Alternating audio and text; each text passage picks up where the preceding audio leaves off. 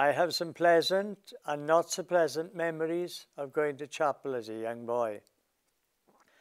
I was expected to attend the Sunday morning service, the afternoon Sunday school, and then the evening service.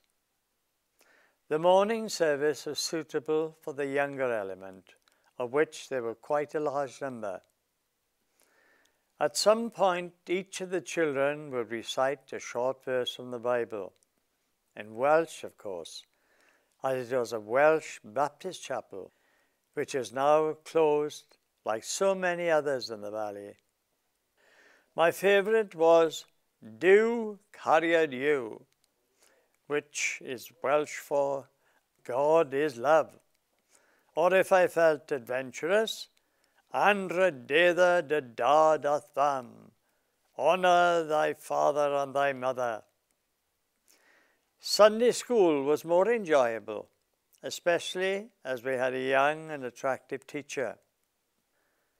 The evening service was a different proposition, much more formal, with a bench of formidable deacons, my father one of them, seated at the front.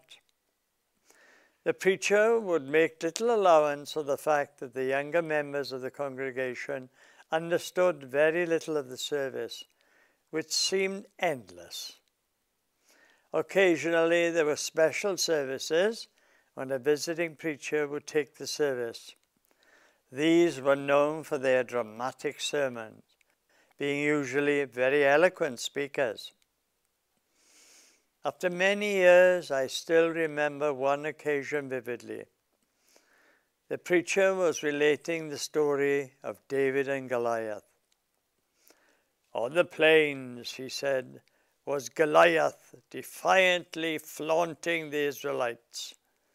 Then he said, There appeared on the hillside the figure of a young shepherd boy. Here he stopped and pointed towards a far window. Immediately, almost every head turned to look at where he was pointing. Times like these did a lot to relieve the tedium of this part of the service. Unfortunately, like many other young people, when the age of puberty arrived, I drifted away from the chapel, never to return.